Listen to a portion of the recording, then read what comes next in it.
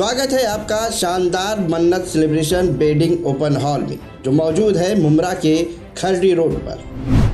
जो आपकी स्पेशल दिन को और भी यादगार बनाने के लिए डिज़ाइन किया गया है, जिसमें 4000 मेहमानों की कैपेसिटी है। रिसेप्शन सिटिंग, डाइनिंग एरिया, साथ ही ample of parking special stage, big kitchen, dressing room, साथ में प्रेयर रूम भी अवेलेबल है।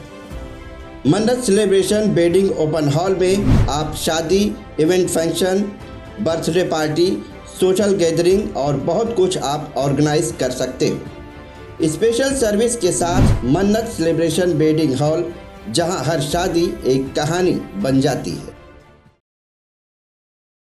मैं इस्लामुद्दीन खान और आप देख रहे हैं प्रहार टाइम्स।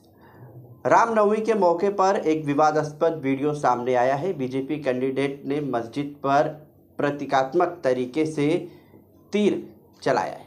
तेलंगाना के हैदराबाद में भाजपा की लोकसभा सीट से उम्मीदवार कोम्पेला माधवी लता हैं।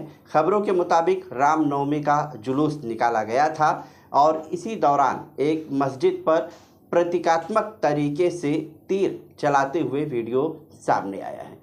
वीडियो सामने आने के बाद इसकी निंदा हो रही है। वहीं कुछ लोग चुनाव आयोग से कार्रवाई करने की मांग कर रहे हैं।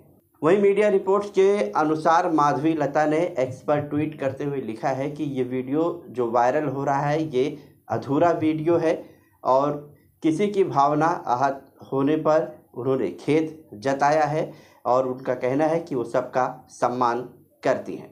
मगर अब सोशल मीडिया में एक मस्जिद पर माधवी लता की ये प्रतीकात्मक तरीके से तीर चलाने वाली वीडियो काफ़ी वायरल हो रही है।